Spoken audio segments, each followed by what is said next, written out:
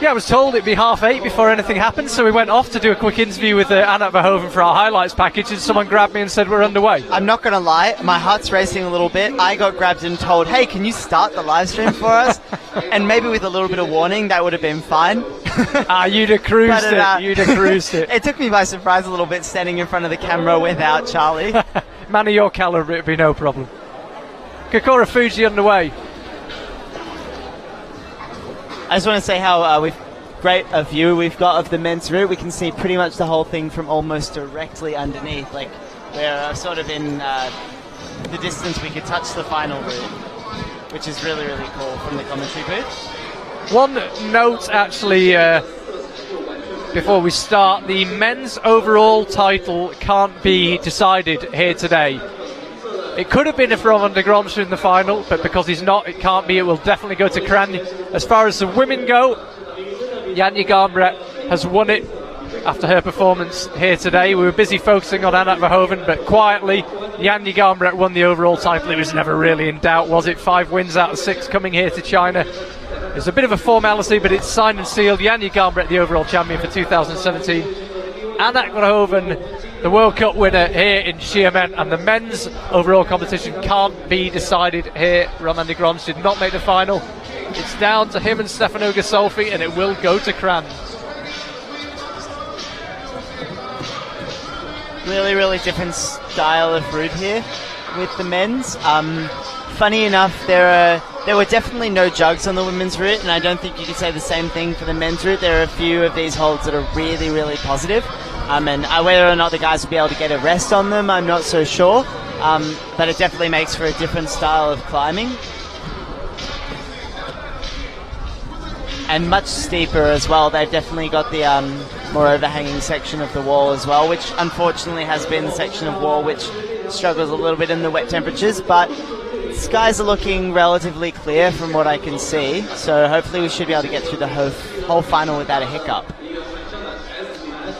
Kokoro Fujii, multiple Boulder World Cup winner. Not seen him actually in any uh, lead finals this year until today. 10th, 11th, 12th so far in the threes entered. Now heads out towards the uh, huge purple volumes. You can see the wind here in Xiamen really picking up. And he drops it just between the two huge purple volumes. So out next, Japan once again. Well represented. How often do we say that? Japanese route setter. I think the qualifiers here were some of my favourite of the season. Um, and so, for sure, it's definitely a, a really jumpy and committing style that I think they, they love to climb as well. So, not surprising to see a few of them here in the final. Shiro Toradaga away. Looking up. I have to say, we're right underneath the wall. We're in that little enclave, down and right of uh, Keiichiro. We're looking directly up at the route. It is unrelentingly steep, this men's route. As I say, the route setters, where, where the angle of the wall eases, they actually bring the route out to the right to stay on the steep terrain. It's a brutal route. They did a great job with the women's in extremely difficult conditions. Anak Verhoeven, for me, and the results will prove it, the best climber in the final, the only one to top it. There's really not very much on that hold he just grabbed. He just took a nice little rest. Um, but uh, we can see it just from where we are, and it's really tiny. Good feet though. Oh, and a hard move to that uh, the jug on the volume there. Still to come, uh, Tomoa Narasaki. Interestingly enough, actually, Tomoa Narasaki and John Chan, the last two climbers out, they were first and second in the semi final after extraordinary performances last week in the finals in Wujiang. They'll be seventh and eighth after superb semi-final performance. Shiro, I don't think the rope's quite caught in his leg there, but it still looks a bit of an awkward one. It's really interesting because I, I was curious myself, and so I took a look, and at least for Tomoa, it's not his first uh, season on the on the IFSC World Cups, um, but lead World Cups. Sorry, he's actually done quite a few before, and his uh, his results so far comparative to when he was last on the lead World Cup circuit is uh, they're pretty phenomenal. Yeah, it was the jump he 2000 made. 2013. He was last in a. He'd never made a final before Wujiang, but yeah, he competed in the lead World Cups back in uh, 2013. As you say, he made a massive leap. I mean, he, he- he's. Well, it's hard to say. Well, keep an eye on Kuchira. Yeah, so about to say it's hard to say he's a favourite for the Olympics this far out Tamil, but Boulder in lead, not beginning to train speed and not looking too shabby there either. The rumor is he got and he got nine seconds on his flash run of the speed route on his first attempt. I got about three and a half minutes. So Kajiro out to the right. Through those worm-shaped volumes, he's going to have to fight here. Got his work cut out. It's not easy when the feet cut off like that. And again, he peels loose. Looking really solid though. Managed to pull that together really quickly. So this is where we lost Kokoro. It was uh, that move there. So that's an early lead for Keiichiro. Still, he doesn't look super troubled. His feet cut loose a couple of times. And he, you can just see, only because we're right underneath him, just beginning to shake ever so slightly uh, with the elbow there. Rope just caught around the volume. I thought that might cause him a problem because he hadn't realised. So this is all new ground on the men's route.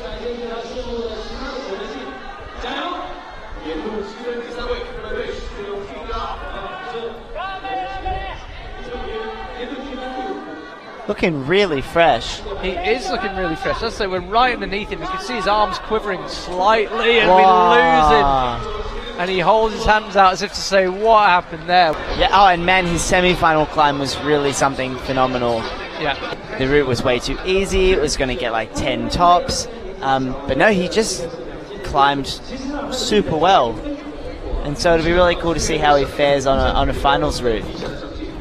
I was about to say he's under no pressure because it's a bonus to be here, but it probably doesn't feel like that with the home crowd cheering you on. No, I think being on the being on all the posters, especially so young, would certainly wear down on you a little bit. Like you could definitely feel a little bit of home pressure, um, especially with there being other Chinese athletes doing quite well in the competition. I know for me that would potentially wear on me a bit, but he's um he's proving himself deserving, at the very least.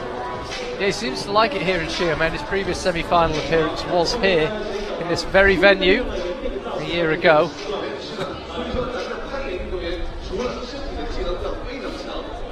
So, uh, yeah, multidiscipline athlete, very successful in the youth competitions, genuine all-rounder, and a, a climber that a lot of people in the know are very excited about.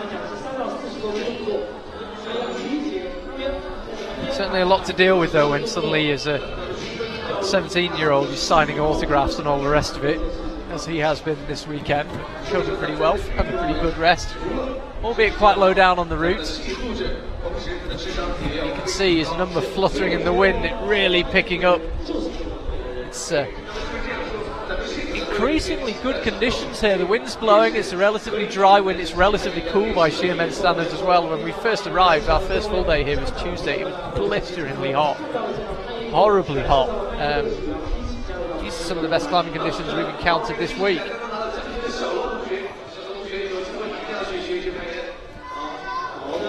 It kind of feels like climbing on a uh, at a crag uh, when you're up there. It feels super exposed with all the wind. It's kind of cool. Not ideal, but it's it's exciting. Yeah, you got the wind in your hair. Yeah, you mean. You've got an outdoor feel to it. Now he's got to launch it with the left hand, sticks that crimp.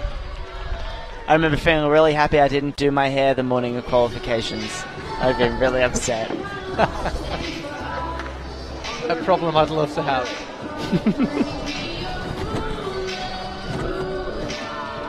yeah, that uh, move up something looks a long way for Yufei Pan. Makes it work. Back in control now. We're a bit further on. We saw Chiro Korenaga lose his feet. It's still very steep this section. A nice wall here in Xiamen, lots of features, I mean big features, shapes of the wall for the route setters to play with. And the men have decided to go steep, steep, steep. Commits to the move outright. Chinese crowd enjoyed that. This is where we saw Keiichiro have a couple of issues, lost his feet. Had his real hip flexibility, though, and that's the reward. Put it, puts him in a much more comfortable position. He's able to clip. Now cross through. Fighting really hard. Yeah, now he's beginning to fight. I think the crowd are just about keeping him on the wall. Again, like Kokoro Fujii. Whoa. Struggles with that move to the left hand, but makes it work and just about hangs on.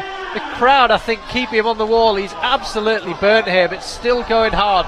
Ropes just caught there. He needs to free that, or it could give him a bit of friction, a bit of drag. And we lose him heading out to the right. But that's a superb effort from Yufei Pan. Should be added, there was a, a ninth as well in the middle of that in Edinburgh. Only just missed out on another final. But yeah, when we saw him in Villars, you thought, wow, this guy could have an amazing season. It's not quite happened for him, but he's back in the finals. It seems like it's all or nothing with him. It's either a podium or a disaster. I think he's got a specific style. He really loves crimps. Anything that he can get into a crimp and lock off, he can just keep fighting. I'm watching him in China at the World Youth Championships, and he just had one of those routes that specifically suited him, and he destroyed us. Um, and then sometimes it just doesn't quite work out for him, but when he's good, he's really good.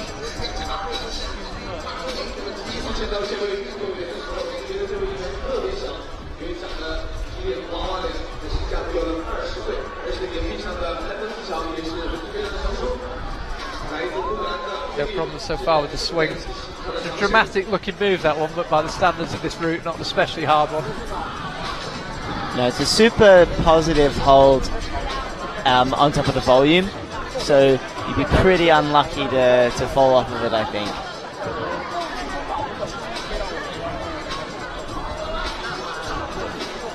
As you were saying about his love of crimps, he latches one with the right hand. And to be honest, he looks like he could fall asleep on it. He just doesn't get pumped on crimps. Oh, and he's matching the crimp as well. Whoa. So, finger saw just looking at it. Now he heads out to the left.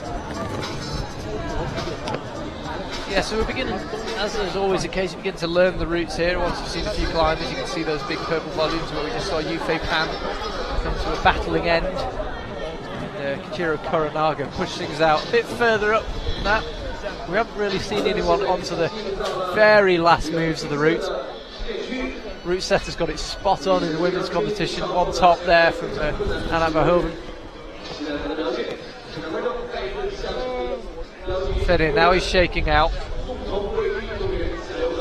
This is where he's got to be careful. You need to, you need to do these with a bit to spare. These moves. If you go full tilt on them and the feet come off, it's a big problem. You need to do them in control, like that. Really nicely done. Heel hook in place. Hasn't quite got that flexibility to. No, Fiddy has all the flexibility. I was about to say. now he has it. Don't even say that. I've watched this man stretch at Innsbruck. It's ridiculous. I was, uh, I was finding it hard to believe there was someone out there more flexible than him, and he proves me wrong. There is more and more flexible. He gets that left foot up high and uh, makes the move look relatively easy. So this pop up here with the left hand is where we lost Kokoro Fujii. No such worries for Fed here. This is a hard move out right though. Yufei Pan somehow stuck it by the skin of his teeth. Fed is Shoulders it up. so high. and he doesn't quite stick it. Bit of an awkward fall as well, but he's the right way up. I think there's a lot of neutrals cheering for Romain Desgranges. He's had a long career. It's taken a long time to find success. And, uh, It'd be finally got there. interesting, interesting as to what maybe he thinks is the difference between this year and so many of the others that he's had. This is what 102nd World Cup, I think, and um, yeah, maybe not the best result from him for this one, but this season has just been like out of control for him all. Won't climb into the final low. He uh, really funny incident in the semi-finals. Just blew it on a move that didn't expect him stopping. Ivan Q out of China climbing second Chinese athlete. Had, a, had an excellent Xiamen World Cup, particularly on the men's side. Decent performances in the speed climbing as well. Had the speed climbing earlier. Vladislav Deulin and Anouck Jaubert crowned overall champions and won the World Cup in Xiamen to seal it as well. See the results across the top of your screen. Shiro Korenaga still leading the way. Hashtag IFSC WC. If you want to get in touch on Twitter, tell us your thoughts, predictions. Can anybody beat Jiro Korenaga's current high point, 33 plus? Totally static on the big crossover. Almost totally static, still took a bit of a swing. Yeah, 25 year old Chinese climber. Entered his first World Cup, believe it or not, in 2008. Time ago, but uh, been there or thereabouts for a while. Semi finals here, last time in Xiamen, 13th that time.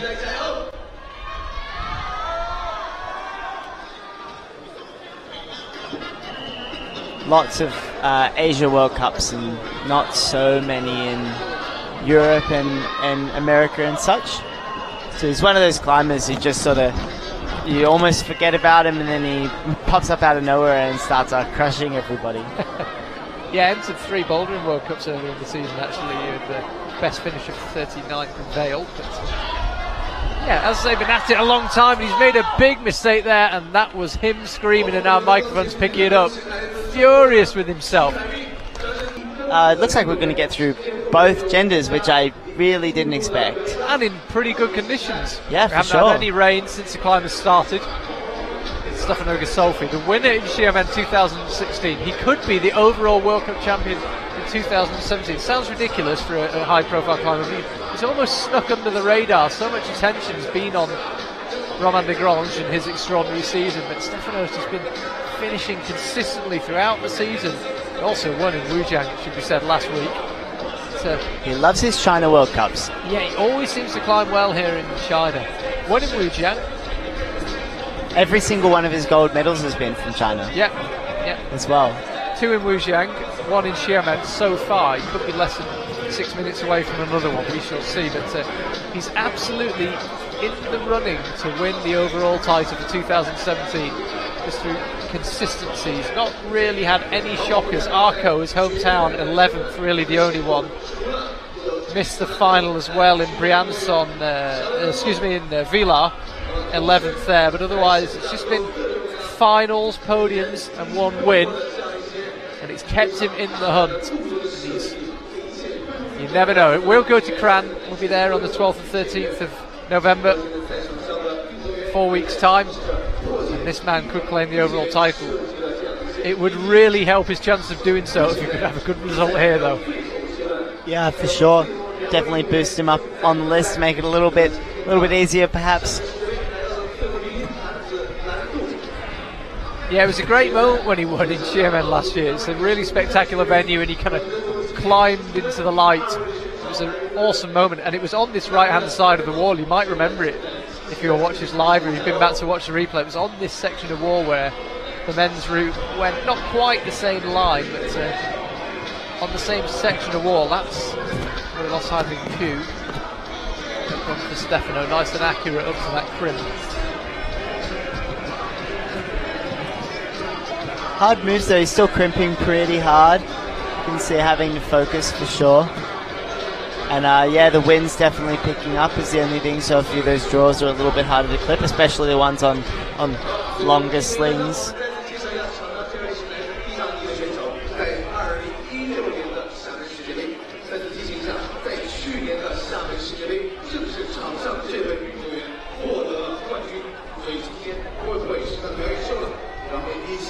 Stefano pops out to the right. He's got that nice, uh, got a really nice springy style. Super springy. Oh, too springy. Too springy. Tries to cross through to that second pink volume.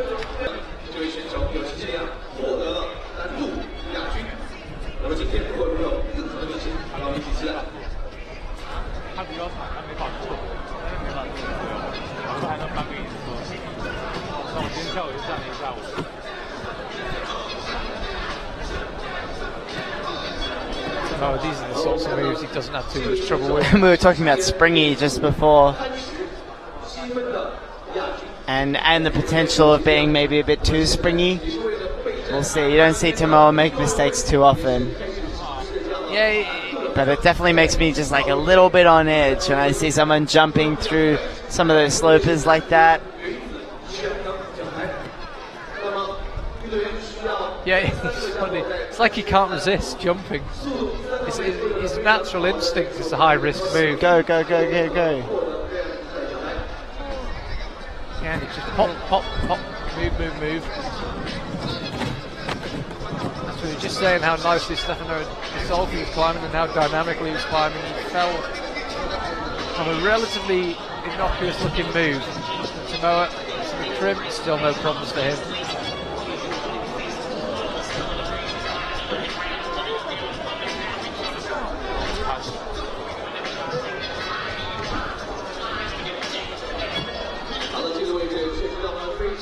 Yeah, it's looking really good so far.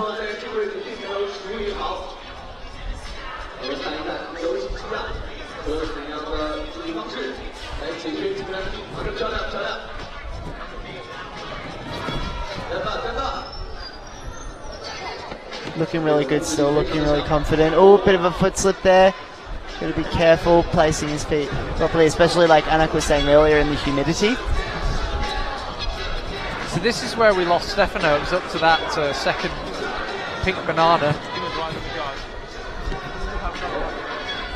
Goes out huge purple volumes. That's where we lost his compatriot Kokoro. Tomoa Narasaki. He's having to fight here. Three minutes 43 left on the clock. Clicking from what looks like a pretty uncomfortable position. He's able to get his uh, body really far over that volume though, which was nice for the clip, but he's definitely looking a bit tired. It's a long time since we saw Keiichiro Oh. Up in this part of the world. Where can Tomoa Narasaki get? He's still going, and the rope just caught, and it looked as if it just distracted his attention somewhat, threw him off. So, Jong Won Chon, the last climber out. We weren't sure we were going to see the man. It didn't look very probable, but we are doing. Can Jong Won Chon claim a gold medal in the lead? What an extraordinary achievement it would be if he did. The semi-final was certainly really impressive. But again, really different style of climbing on this route compared to the semi-final. Much, much steeper profile, so it's unless you've got that really inbuilt resistance, it's definitely a lot harder to recover.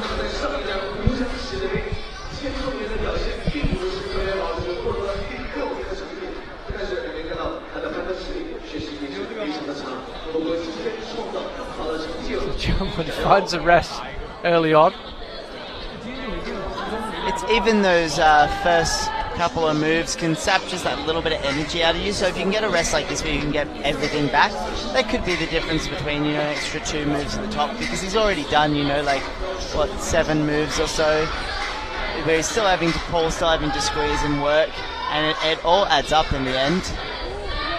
So being strategic about those little rests at the beginning of the route can be the difference.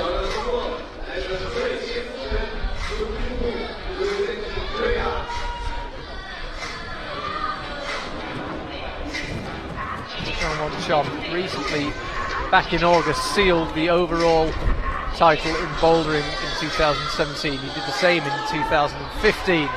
16 wasn't quite his year, albeit he won a World Cup still, but uh, 17 very much back to his best. And I was chatting to one of the coaches who said to me, for raw strength, for measurable strength, Jong Won Chon is probably 30% stronger than virtually anyone else in the bouldering circuit. For sure, and it's not the not the only one I've heard that from. That I've I've heard. I think it was Alex Khazanov say that as far as basic climbing goes, he's the strongest, and no one can no one can beat him. It's quite extra- quite extraordinary when you think about it, though, to, to say 30% stronger Yeah. than World Cup bouldering Ja- World Cup winners. James Kassay was telling me um, that he's he's like, oh yeah, he's he's really really good at what he's good at, and really damn good at everything else. Great line from James Cassidy. I, I think that really sums it up. Hopefully, we'll see James in a couple of World Cups next year. Hopefully, Meanwhile, it's Jong Won Chon. Yeah, if James wants to come and win a World Cup, this is one of the people he's got to beat. It's an awful lot easier said than done. I think James at the moment is uh, more set on maybe building building his son up in a few years to to take out the World Cup title. I think if his son was half as strong as Jong Won Chon, he'd make a pretty decent climber. Jongwon Chon. You can see there, that's the move where Kokoro Fujii fell, and Jongwon just about sticks it. Because that's what we're talking about, that power. It was a really, looked like a really awkward move, but he's just so strong on that left hand, but he drops it just going up for the next one. I was about to say, looks so strong on that left hand, but it's Japan 1 and 2. Chiro number 1, Tomoa Narasaki second. Yufei Pan, up and coming Chinese climber on the podium, Super third place. young. Yeah, in his first World Cup final. Fantastic effort from him.